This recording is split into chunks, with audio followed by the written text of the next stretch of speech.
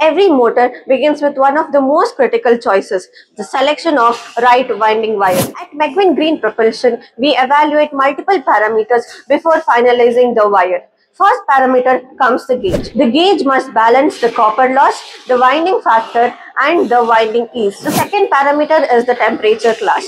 We always chose insulation above class H which is 180 degrees Celsius which ensures the safe margin. Insulation coating. High performance dual coat enamels are selected for superior thermal and chemical resistance. The next parameter is mechanical property the flexibility to slot insertion and resistance of friction damage is crucial during coil forming. Environmental compatibility. Wires should withstand moisture, chemical exposure, vibration and corona effect in high voltage applications. The last parameter is the standard compliance. Every wire meets IEC 60317 and NEMA MW standards with supplier certificates validating dielectric breakdown and thermal index. What happens if the factors are ignored?